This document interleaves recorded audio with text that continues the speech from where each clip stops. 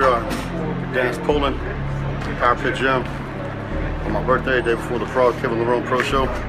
So uh, happy birthday to me. No water, chicken and rice. 41 years old, so uh, stay tuned.